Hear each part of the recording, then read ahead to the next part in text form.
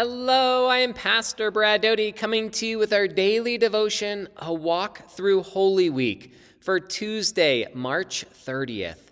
Our theme for today is The Spirit Intercedes for Us. A reading from Romans, the eighth chapter. In the same way, the Spirit helps us in our weakness.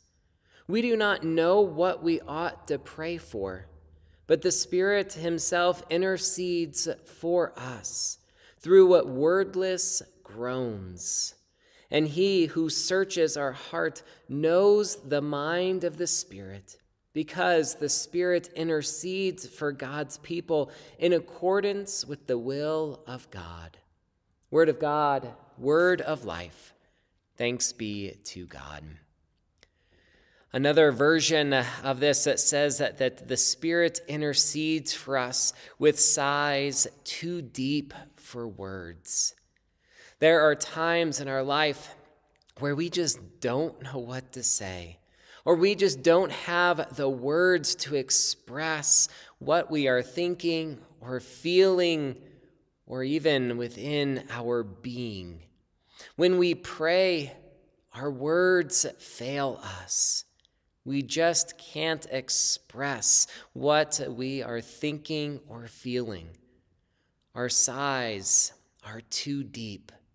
So, the Spirit promises that to be present with us, and the Spirit intercedes with us with sighs too deep for words. God speaks for us. God knows our hearts. God knows what's on our minds and God knows us. God knows what we are going through. Through Jesus' death and resurrection on the cross, Jesus experiences life. He experiences pain. He experiences grief. He experiences sorrow. So God knows what we are going through and the Spirit is with us. The Spirit is with us to speak for us. The Spirit intercedes with groans, with sighs too deep for words. Let us pray. Lord God, we come to you often with heavy hearts, with burdens, with grief and sorrow not knowing what to do or what to say. But Lord, we come to you for peace, for comfort, for healing, for help.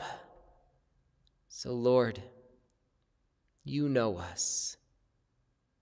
May you and your Spirit intercede for us with sighs too deep for words. Speak for us for Lord, you know what is on our heart and what we are going through. Lord, we give you thanks for loving us, for walking with us and caring for us, and being with us in those sorrows, in that mourning, in that grief, when we don't have words to be able to express what we are going through. And Lord, we thank you for being with us even in those joyous and happy and moments of celebration. Lord, we thank you for your love, for your presence. In Jesus' name we pray. Amen. May God be gracious to us and bless us and make his face shine on us. Amen. Have a blessed day.